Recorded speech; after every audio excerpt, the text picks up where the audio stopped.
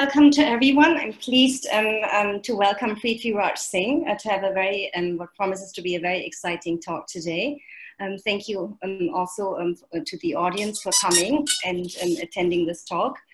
this is part of our lecture series, Resilience, Historic Houses of India and Their Custodians. It's also part of our knowledge transfer initiative, um, to uh, give the word to owners of historic houses um, so that we have this kind of direct first-hand account of historic houses and wonderful stories that we wouldn't normally find in, in, in history books. So let me just um, start. And please, I also uh, always like to say that uh, we like to uh, have a very interactive session. So please use the chat option um, to introduce yourself, to make comments, to to ask questions. If you have a question, please kindly um, uh, type Q in front of the question. That will be um, easier for us to find it. Um, so, um, as always, I like to try to start by picking a theme um, for um, today's lecture. And if you've seen the first image, let me just go back one moment. You see that this, this is the house we're going to talk about. Mohan Niwas Palace in Panna. So if you look at this house, um, to what extent is this Indian? Or you know, what does it look like? What kind of style is used? And actually, I would like to ask these questions and um, hope that Prithvi Raj uh, will also uh, make a few comments about this. And um, this has an unusual story because it is, in a way, a souvenir from a trip um, from a family who loved to travel. And um, very often in current debates, especially in kind of post-colonial um, theory, um, you have the idea, and I've heard it many times, that somehow the style has been dictated um, or been imposed from above. Um, if you kind of follow this argument, um, there is a problem with the fact because somehow you take away the agency of people. You somehow assume that people are just kind of mindless puppets listening to someone. And I think from, you know, looking at the reality, it is quite different. And I would like to give this example here. Um, the first image that you can see is actually Waddesdon Manor um, in Buckinghamshire in the UK. But what you see doesn't really look very British at all. And you know, everyone who saw it um, thought it must have been you know very un-English. It was built by Lord Rothschild, and the Rothschild family loved French style. We also know the term goût Rothschild uh, to describe this kind of opulent style and many French elements in interiors um, as well. And uh, below there, you see another building that looks French, but this is actually in India and it's, it's Jagatjit um, um, um, palace uh, built by the Maharaja of Kapurthala. And somehow, you know, why did they choose the style? Um, could they maybe just like it? Or was it an example of being cosmopolitan, of being able to travel and being inspired by it. And of course, this is a very, you know, has a very long history. The idea of travel, bringing souvenirs, and the souvenirs or whatever you see kind of um, have an impact on, on architecture and interiors as well.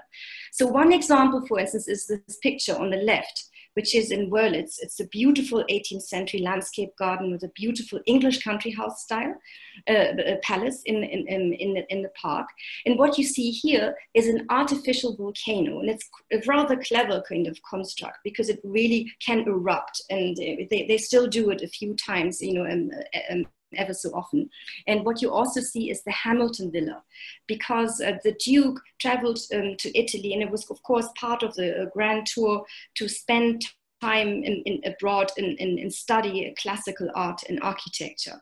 And the result could be something like this. Or the result could be something like this that you see here on the right. It's a print room, and basically these were souvenirs, um, you know, uh, etchings or something that you would bring from a trip. And um, it's a kind of do-it-yourself project where you would in, in, in Up Park, actually, in the UK. So I'd like to use that idea of um, being inspired by something and, and influences of architecture on, um, um, you know, on the family who were also patrons of the arts and architecture. And maybe Prithvi Raj, you could tell us a little bit more and show us um, some images about this idea. So today we are talking um, about Mohan Niwas Palace, which is in Panna.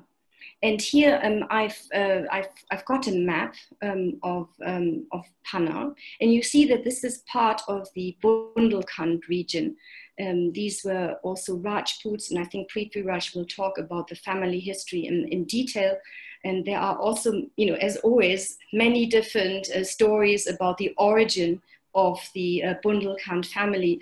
But, you know, like many um, interesting, fascinating historic houses in India, there's also the story of love and, uh, you know, um, unhappy love, problematic love, falling in love with the wrong person. So one story of the origin is also that the name uh, actually comes um, um, originally from a Rajput who married outside of the caste and fell in love uh, with a slave girl and I think a similar name, you know, their son then was, um, you know, was called um, a bundel or something like this, and this is where the or bundle, or this is where the uh, kind of uh, name comes from. This is just one of the stories. Prithvi Raj will tell you more about it.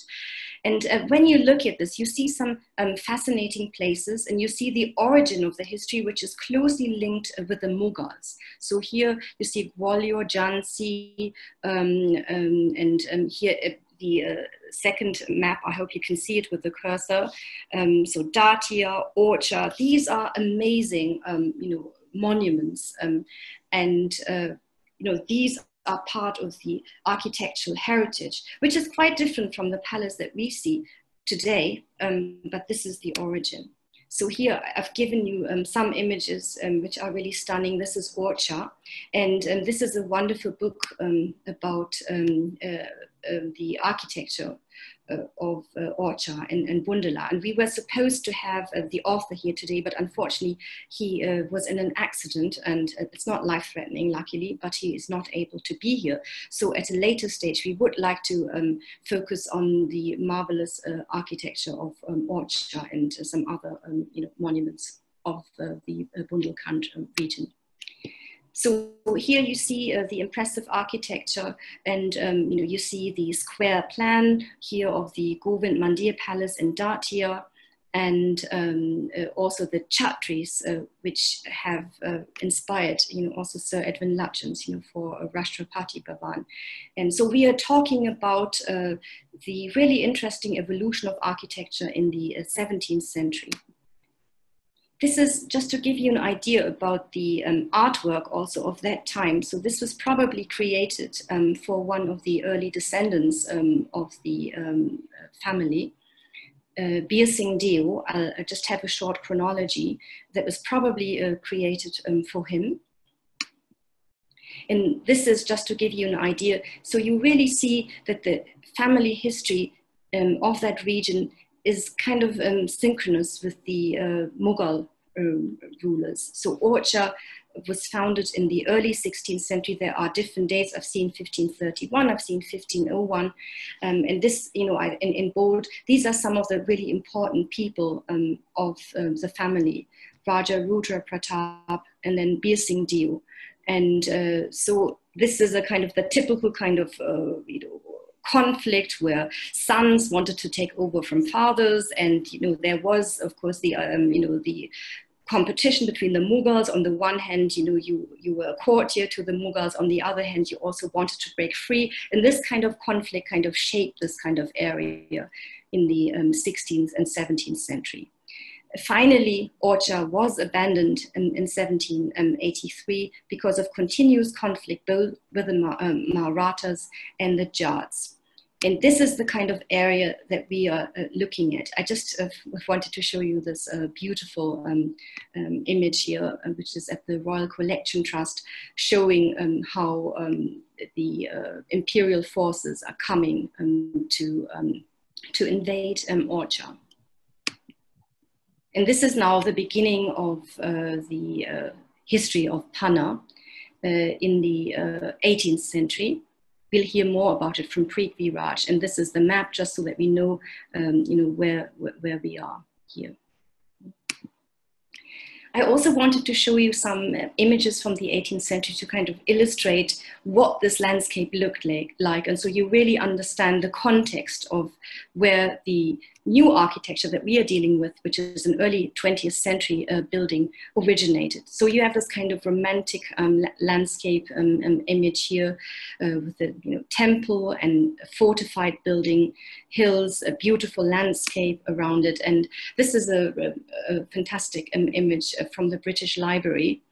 And it's the water tank and also Raj, you will actually continue talking about this, always this correlation between water and, and, and, and architecture, yes.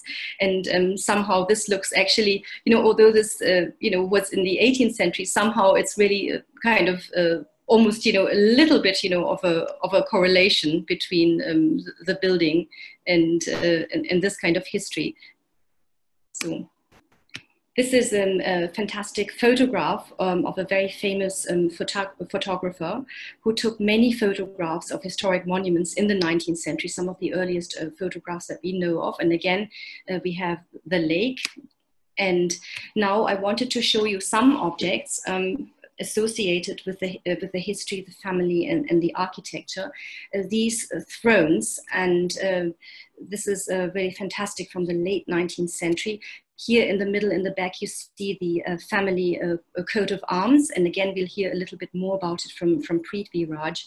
And it's this kind of blend between European style and, um, you know, Indian. This was made in Benares and um, it was uh, silver and then um, gilded as well. And you have some embossed aspects, you have some engraved aspects, and you have the embroidery here, which is, uh, which is Indian, you know, with silver thread on the original um, upholstery. And here again, you know, some, some objects, you know, I wish we had some more objects, but I just wanted to show you uh, something um, from the period um, uh, uh, uh, you know, before the 19th uh, century, before the 20th century. This is one um, historic picture of one of the palaces in, in, in, in Panna. And now I'd like to hand it over to Prithvi Raj, please. Thank you.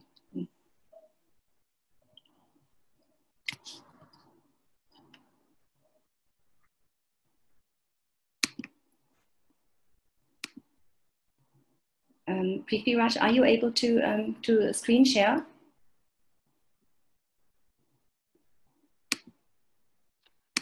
Uh, thank you so much, Professor, for this lovely introduction. And without further ado, I would like to share this.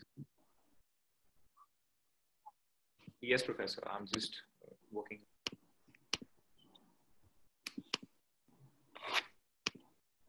Uh, professor, should I continue? Yes, please. Mm. I hope I'm audible, everyone. Yes, and uh, without further ado, I'd like us. I'd like to take us to the Mohan Niwas Palace in Panna.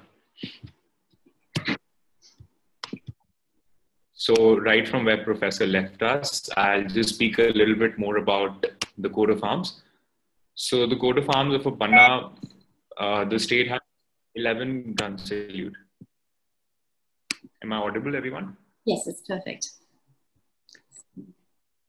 So it's inspired from European heraldry. It features a shield decorated with a flower motif beneath a border of sable, which the lion and a bear supports.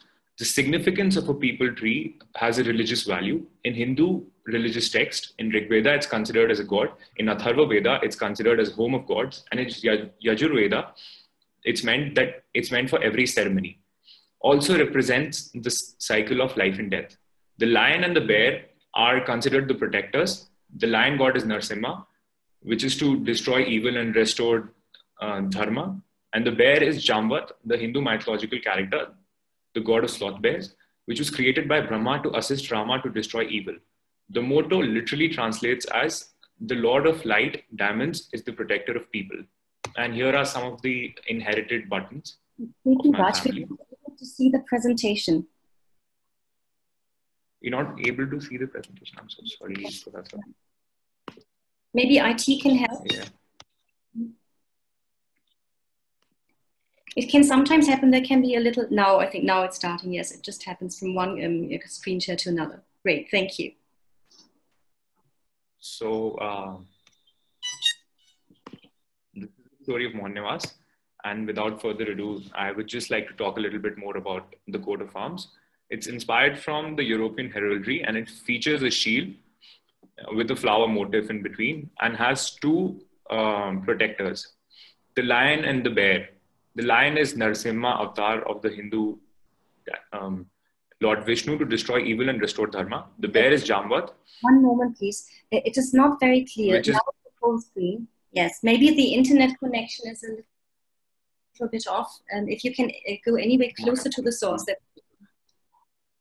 But now this is a full screen. This is um, much better. If I may suggest, uh, if the internet connection is not so strong, we can switch off. Uh, Mr. Prithviraj, you can uh, switch off your video so that you know the internet consumption Ah, can yeah. be managed for the slide and your audio. Uh, all right, sir. Uh, but I'm just screen sharing. So, Uh, you can still switch off your uh, camera even while you're screen sharing. all right, all right. Yes. So, the coat of arms of Panna state. And it also represents, the, so the people tree has a significance value with the Hindu religious text.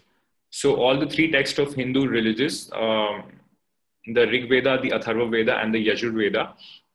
So, in Rig Veda, it's considered as a god. In Atharva Veda, it's considered as home of gods. And in Yajur Veda, it's meant for every ceremony. This is the people tree right there. And uh, the two animals that, that are present there, it, it represents Lord Narsimha avatar of Lord Vishnu, and bear is the Jamvat. Both of them are protector of um, protector and destroyer of evil. And uh, the Jamvat was created by Brahma to assist Rama to destroy evil. The motto Praja Shatra Vajresh literally translates as the Lord of Light, diamonds is the protector of people.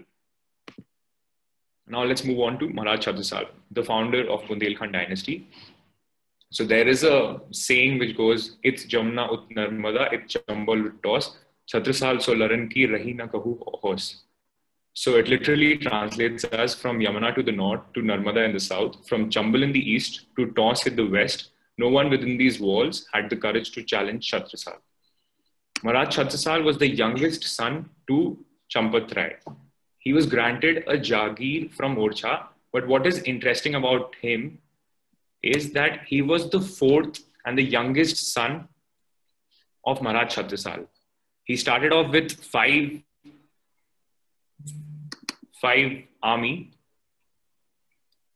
And throughout his reign, he engaged in voracious warfare against the provincial representation, who were the center sole authority to the Mughals this con- this brings us to the technical notion of a king who was also a jagirdar. And a code of conduct existed amongst Bundela that when they uh, am I audible? Yes, but it's a little choppy. I think it's the internet connection. Yes, Professor. I might. I'll Yeah. What I could also offer is I can share your presentation because I've got it here, uh, but still your voice needs to be audible. So last time we spoke, it was really perfect. If you could go back to the same source, that would be that would be great.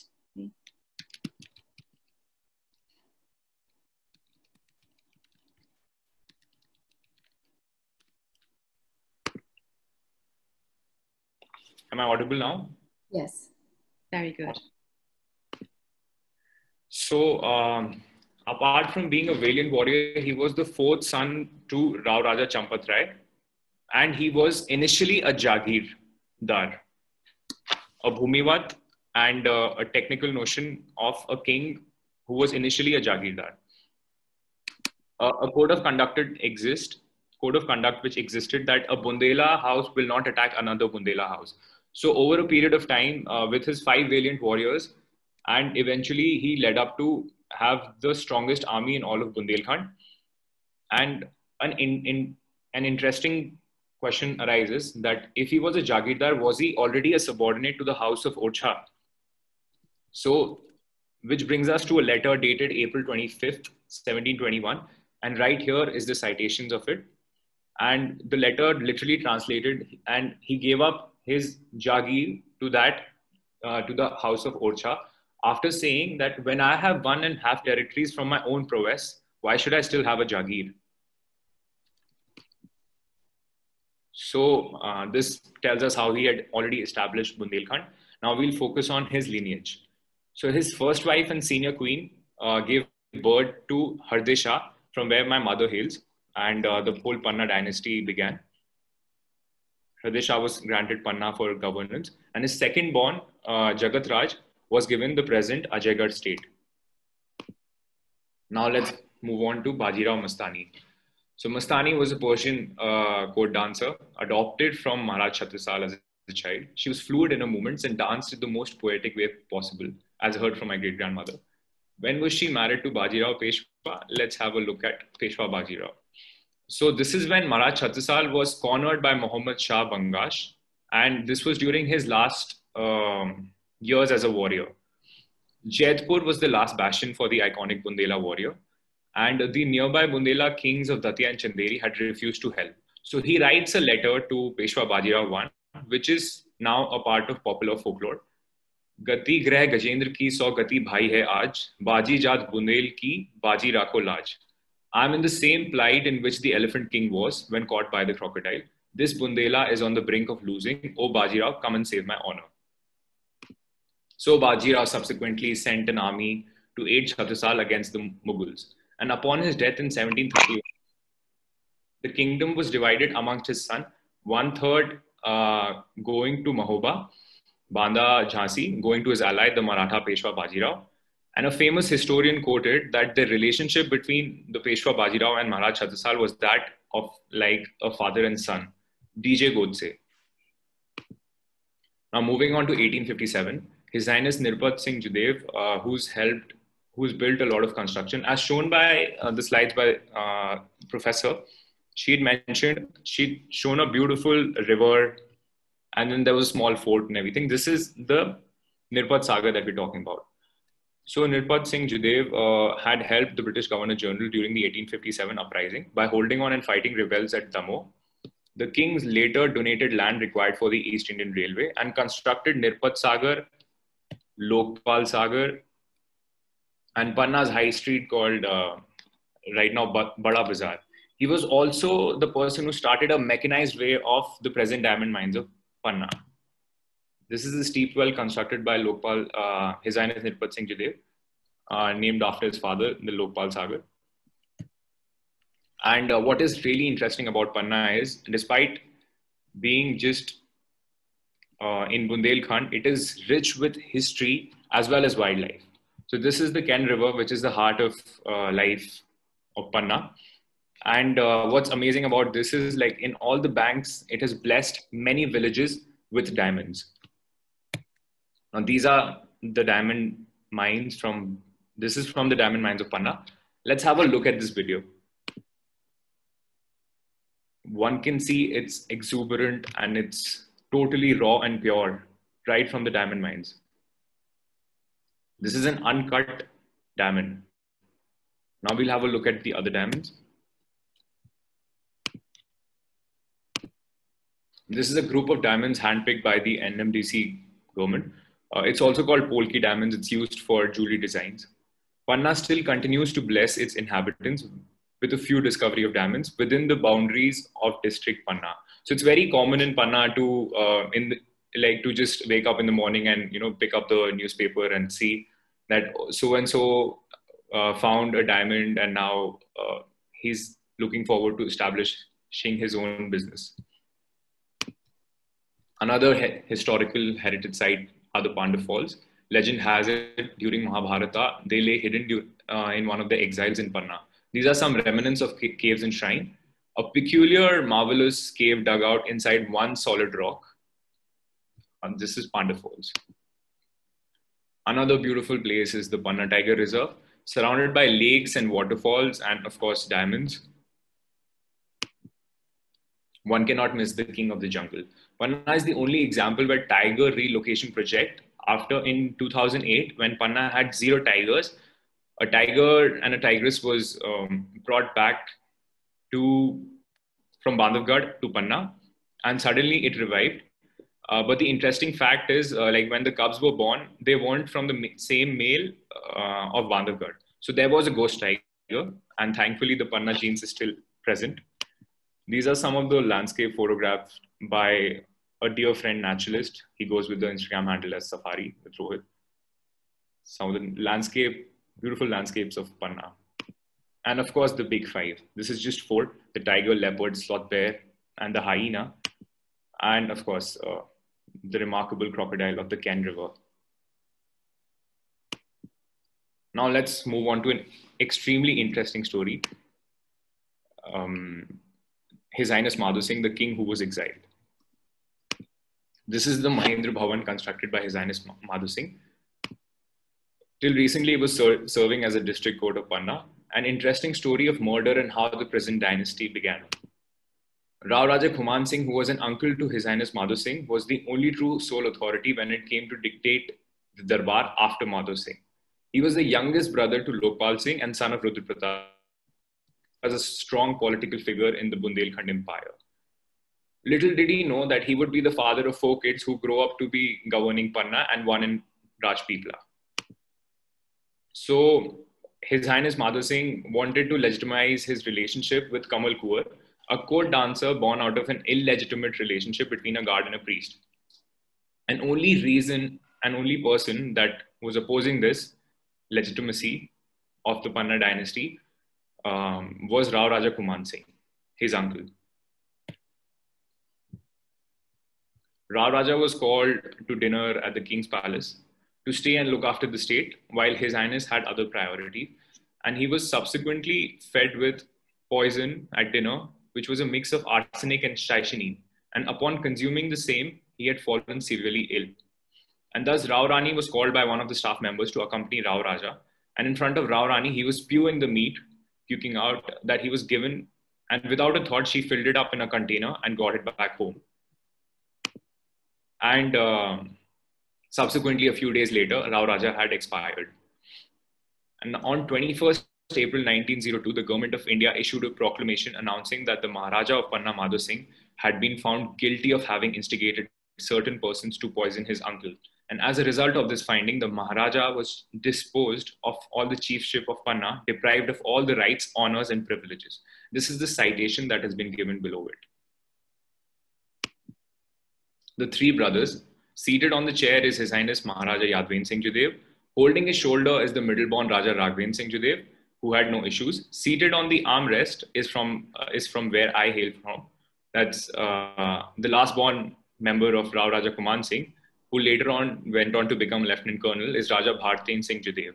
All three brothers were though referred as Maharaja. The middle one was called Majle Maharaj. The youngest one was Nanne Maharaj.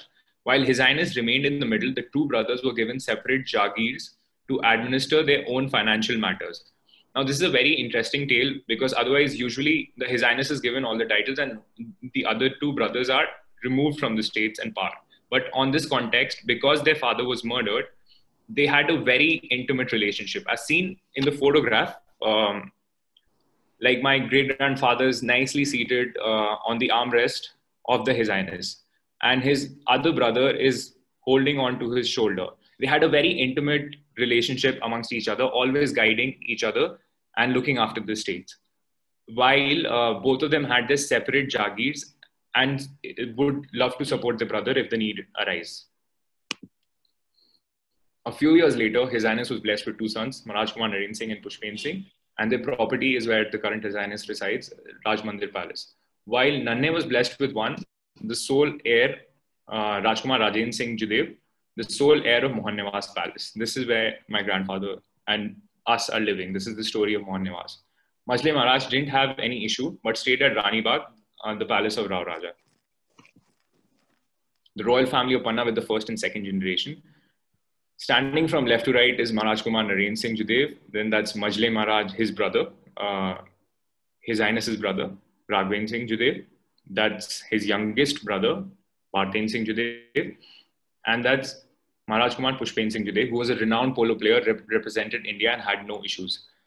Seated is his Highness Maharaj uh, Yadudev with his nephew, my grandfather Rajkumar Rajendra Singh Judev. This picture is placed at the drawing room of Mohan Niwas Panna. Lieutenant Colonel Rajashri Bhartin Singh the last son of Raja Kuman Singh, and ICC Dehradun of Home Ministry and Police. While being the youngest, he was also the most traveled amongst the members of the royal family. His travel included that of Italy, Germany, England, where he exchanged ideas, improved the functionality of the state, and also educated his son. Nanne Maharaj was his real sister, who is the His Highness of Rajpipla, at the pyramids of Giza. That's uh, him at Canton de Vaud, Switzerland. One can see where uh, the Switzerland flag right here. And that's Cadillac V16. This is him in Italy. And this is his fine collection, which is still preserved by the present, present family from all over the world. An iconic photograph was where the story of uh, present palace began. Raja Bhartin Singh with his sister, Her Highness Rajpipla, came across a beautiful castle. The castle was none other than Windsor, and let's go back to the archive to see what Windsor looked like in the early 1900s. This is the Windsor Castle in early 1900s. And this is the construction of Mohan Niwas Palace uh, from our archive, early 1900. The castle is made up of Panna sandstone, entire stone and attached with lime mix. The turrets are exactly the way it's done to create a Windsor of central India very interesting photograph. Raja Bhartin Singh Judev, the founder, eating sugarcane from his own jagir, which made this magnificence. Seated next to him is the architect Shapurji Chandraboy of Shapurji Chandraboy's company, who were one of the best uh, architects in those times. Post completion, he moved in with his wife, Raja Bhartin Singh Judev, with his wife, the daughter of Thakur Ramnivas Singh Ji, also called Sarkar Sahiba. Why was she called Sarkar Sahiba is a very interesting story because uh, Raja Bhartin Singh Judev was a home minister and he was also referred as Sarkar. And um, she was called Sarkar Sahiba because they were governing the empire. This is the picture of the drawing room, and we still have the same furniture as we can see in the same picture. Sitting is there Rajkumar, my grandfather, Rajkumar Rajendra Singh Judev.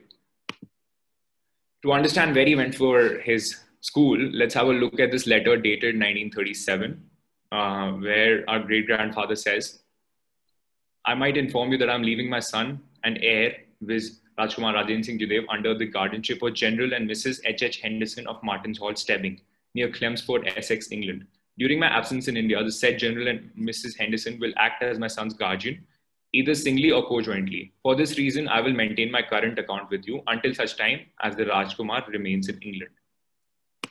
This is some of his pictures.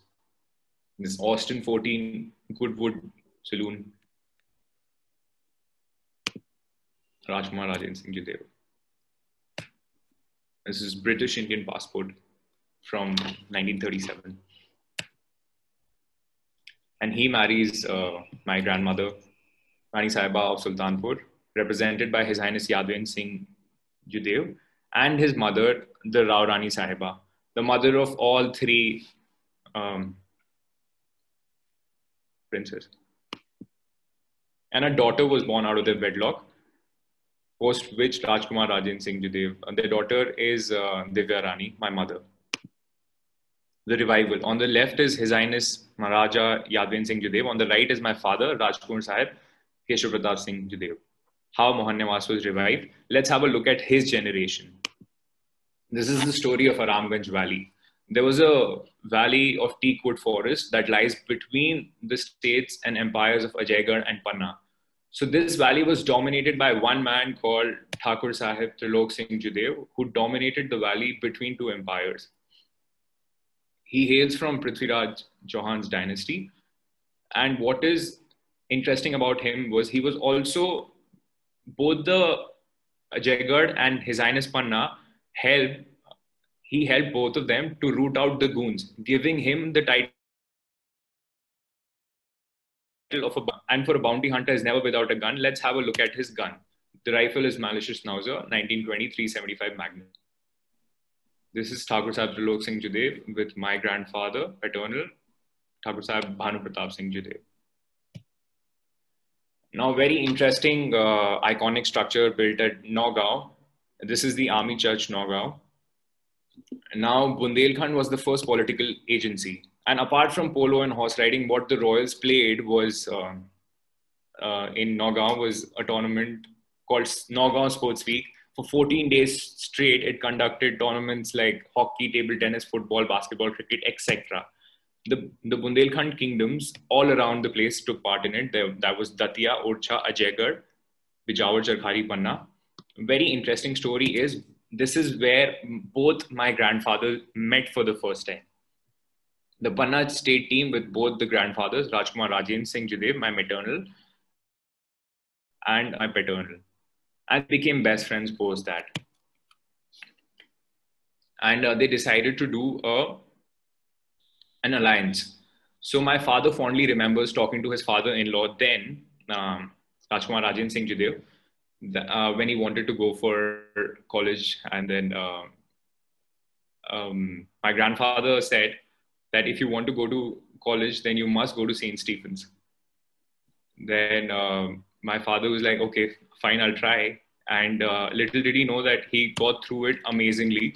This is a picture of Rajkumar Sahib after smashing the 400 meters in Delhi University gold uh, at the Jawaharlal Stadium in Delhi, uh, representing St. Stephen's, of course.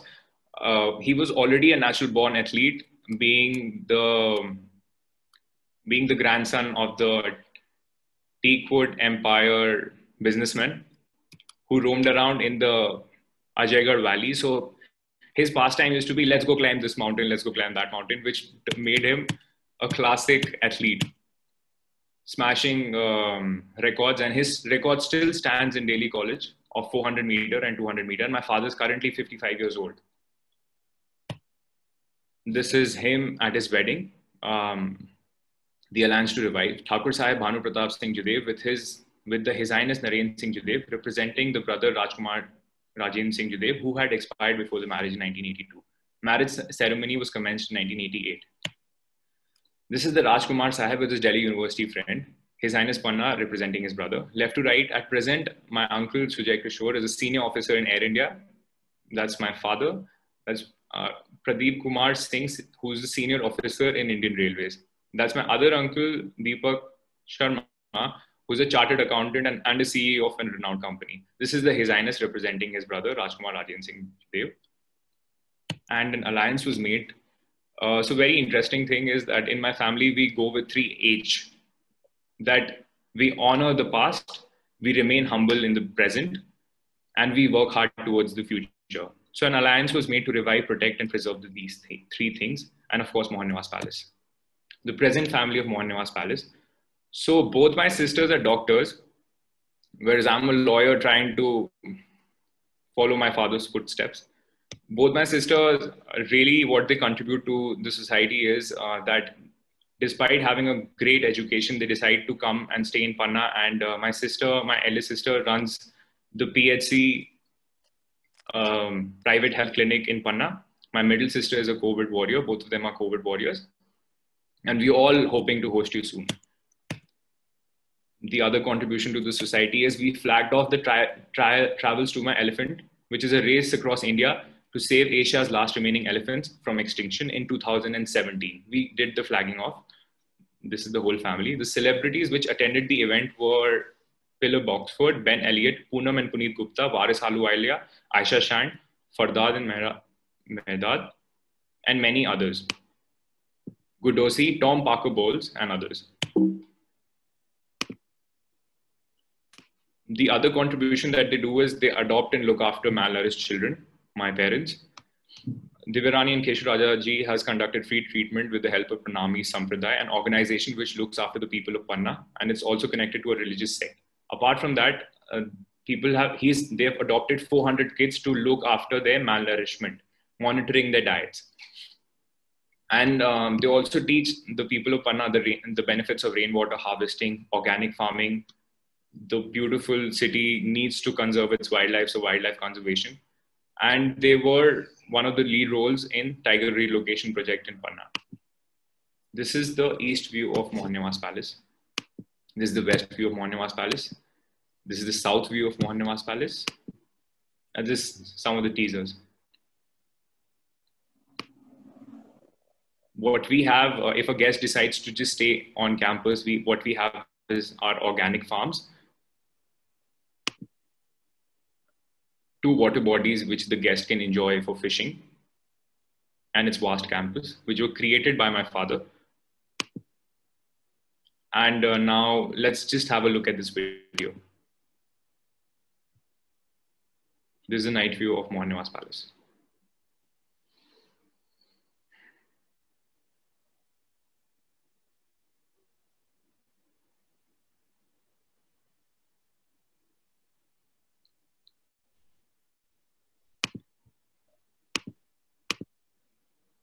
Thank you so much.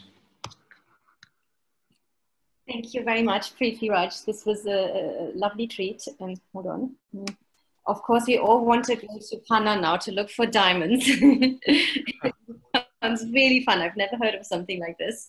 And again, I think it's really wonderful to hear these uh, personal stories of the privately owned, the family owned and historic houses of India and the important contribution these families make, not only in preserving um, the heritage, but also the many other ways they contribute to society, from wildlife um, to organic farming um, to uh, looking after children. This is really, really wonderful to see. Um, there were a few questions. Uh, one, one question was, um, uh, do you know where the name uh, Panna comes from? Um, the name Panna comes from the, the forest surrounding it which literally translates into Hindi as emerald. So the green, greenery that surrounds Panna is the forest, and therefore the name Panna.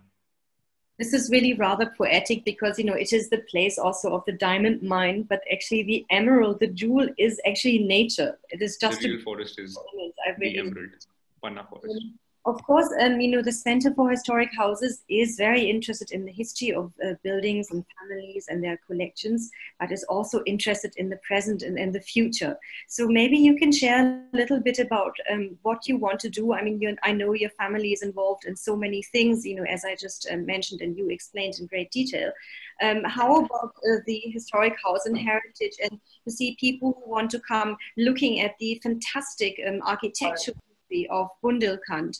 Um, and Khajuraho is there, um, is about three hours away.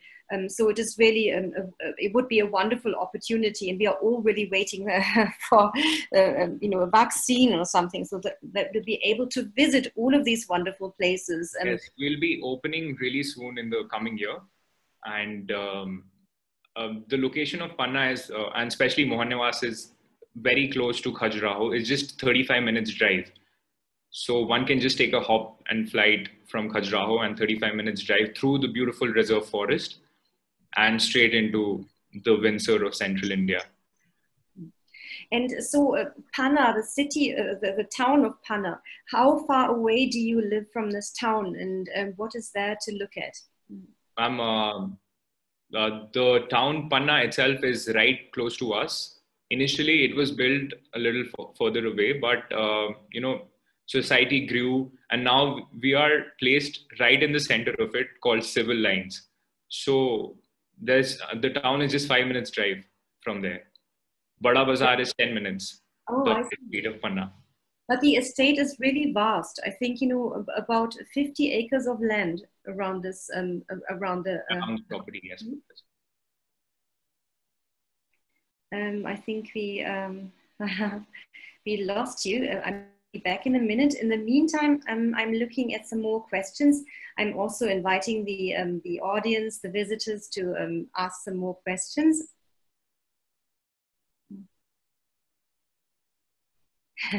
Thank you for the birthday wishes, but the birthday is on the 30th of September. Thank you, Lou. um, Prithviraj, would you like to um, say anything? Also, you know, actually, I, I, should I should have mentioned that Prithviraj was a former student of mine in one class. Yes, I would um, really like to thank Center for Historic Housing. And um, like, apart from me being turned out to uh, as a lawyer, what I really enjoyed was meeting the professor and her classes and the talk about revival of um, heritage and her contribution to little things, and which has become so big now that uh, they, like every castle in India is on the world map thanks to the professor. Thank you very much. This is very kind of you, Prithviraj. I mean, of course, you know, the center would love to stay in touch. We would love to collaborate in, in, in any way, you know, working on projects together in the future. And of course, there will be Palace Day next year. So by then, hopefully, the pandemic will be gone, so we can do actually some live, you know, events on Palace Day on the 19th of July. It's a date nobody will ever forget again. Hmm? So um, yes, uh, thank you very much. There was just one comment, and I'm so glad you mentioned this. Um, the comment is uh, from um, Visha. Um, a truly cosmopolitan culture. Thank you for the amazing presentation.